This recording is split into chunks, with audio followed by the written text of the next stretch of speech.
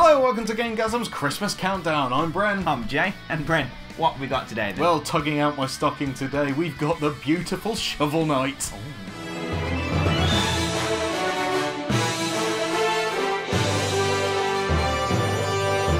So, as Castlevania is my most faved horror platformer of yesteryear, I suppose you can understand why Shovel Knight really caught my eye. Styled as a retro 8-bit game, you set off as the amazing Shovel Knight, and yes, that is a shovel he's holding. Swinging your mighty shovel, you vanquish foes, solve puzzles, and kill bosses. It uses a very Metroidvania style of progression, whilst keeping each level separated with a Super Mario 3 styled overworld. The shovel attacks are cool, with our fearless knight being able to dig downwards, strike enemies, and dig up treasure, and open up different secret hidden areas. And it doesn't hold your hand either, throwing you in at the deep end it introduces some high level platforming tasks very quickly. Not for the faint hearted, Shovel Knight will test your mettle at most points throughout its duration.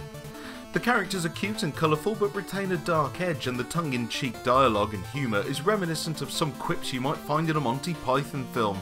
On completion, you also unlock the Plague Knight and get an entirely new quest with new gameplay to master. It intertwines with your previous Shovel Knight adventure and is really cool seeing it from this new perspective. The weapons and power-ups are plentiful and you'll need a strong mind and super dexterity to get through some of its tricky levels, but the amazing power-ups all work really well and it's often up to you to decide what is the best tool for the job. Full of life and oodles of great atmosphere, Shovel Knight takes you right back to when gaming was the best thing ever. Chucking this one on Christmas Day with a mug of hot chocolate and you're all set for a super morning. so Shovel Knight then. So a fairly new, old one. Yeah, like. yeah. I mean, well, I mean, I like Castlevania, and uh, Shovel Knight is just a harken back to those 8-bit games, and it does it so gloriously well. I mean, I think they did embellish a little bit. Like, it's not true 8-bit because I don't think that you could fit all that on a cartridge. I don't think it could happen. No, it's quite a big game as well, isn't It's it? oh, and it's it's about six or seven hours. So you know, but that that's just the Shovel Knight story. Once you get to the end of the game, though, you unlock another character, um, the Plague Knight, and you get to go through the levels again, and they're all slightly changed to deal with Wow. uh, the Plague Knight's kind of different abilities because he uses bombs instead of the the shovel. so it's quite cool. He like throws bombs, and you can customize the bombs and have different like lobbing bombs and different times and stuff like that.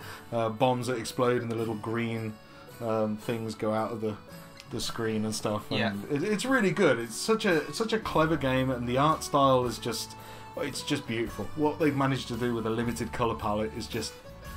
Well, hats off, hats off to you, hats off to you guys, and it was it was a successful Kickstarter game. Uh, so yeah, it did, didn't come out too long ago, and but it, it makes my list because this is going to tell you something about me as a gamer right now. Okay, so I bought Fallout 4 and Shovel Knight at the same time.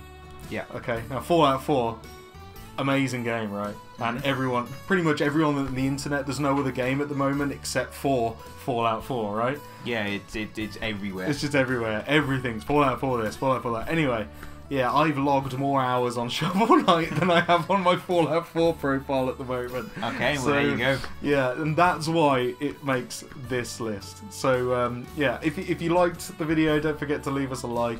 Also, comment below. Tell us uh, what you like about Shovel Knight. Have you played it? Let us know.